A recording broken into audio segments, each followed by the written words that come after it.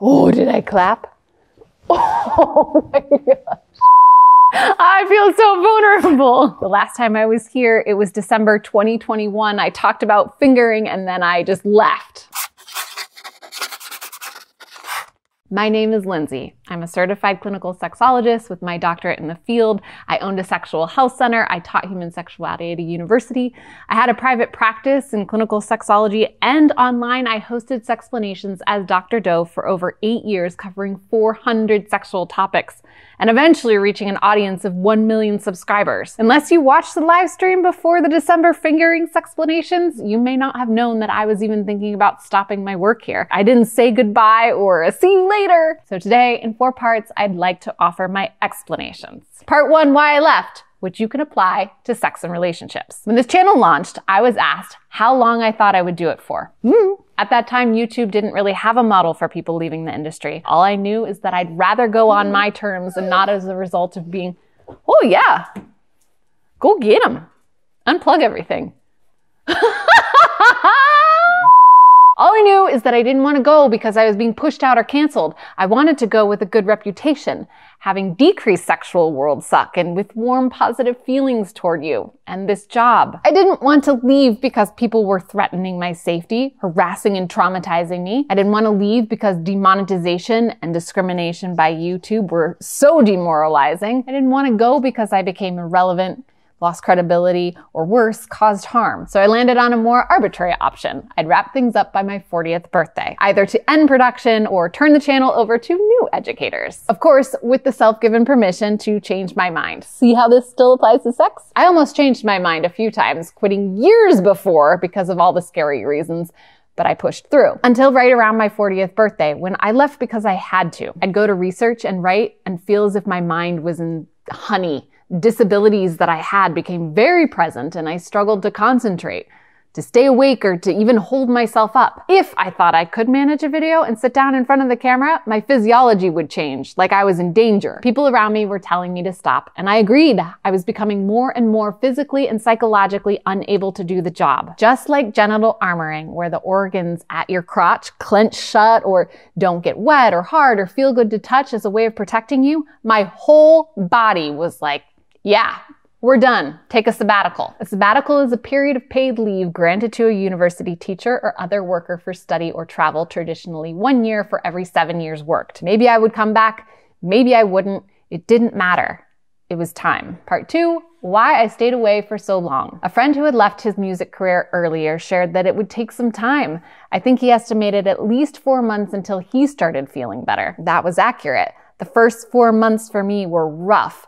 I felt guilty for leaving, all of these things that I said I was going to do and didn't, all of the ongoing sexual pain and strife I wasn't doing my part to relieve. I hadn't even said a proper goodbye to all of you who made Sexplanations into one of the best experiences of my life. But again, I couldn't. By that point, I wasn't even able to talk about sex without shutting down. I may make another video about why, but in the meantime, I'll say I was getting unwanted attention from the internet.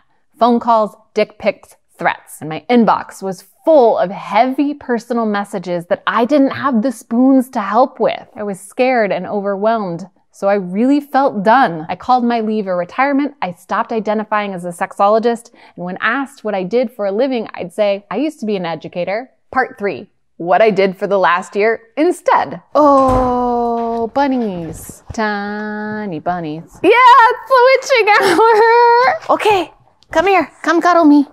Come cuddle me. Okay.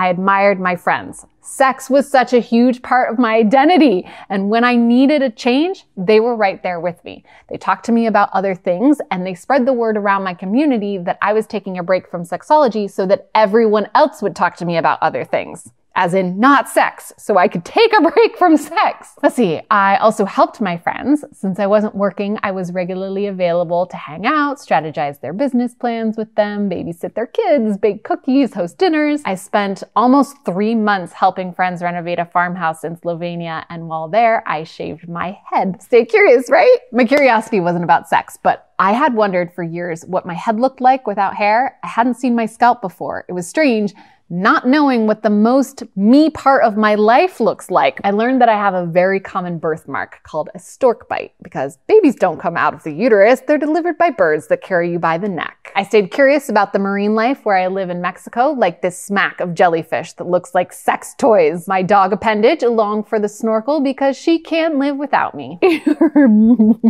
so and you smell like fish. I loved on her and so many other dogs this past year. Dogs, dogs, dogs, dogs. Every Dog Matters Rescue Center in Bulgaria, dogs. Rescued, fostered, and adopted. I kiteboarded, I permacultured my yard, I traveled to the Dahlia Festival in Zundert, and to visit family in Ohio, Ireland, and Spain.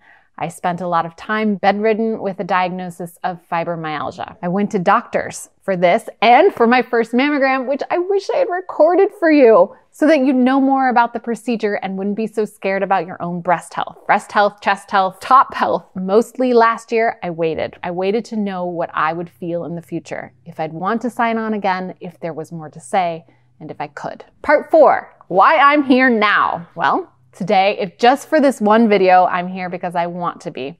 I want to explain what happened and stay curious about what will happen next. I care about you.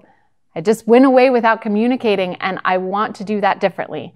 I want you to know that I'm okay, I'm not mad, and I appreciate you. Some of you have continued to support Sexplanations on Patreon. That has been amazing. It feels like paid time off or a true sabbatical, which has been, what's the word for feeling light? The opposite of stressed.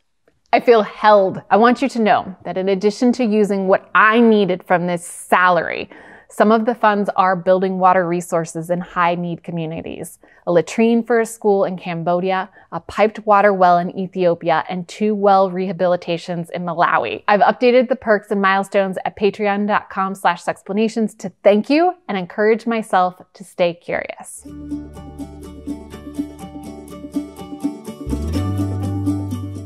What the most part of you, you're, you, you're you. when the banda music goes by, you do a little jig. Where I live in Mexico, just like this. We're done.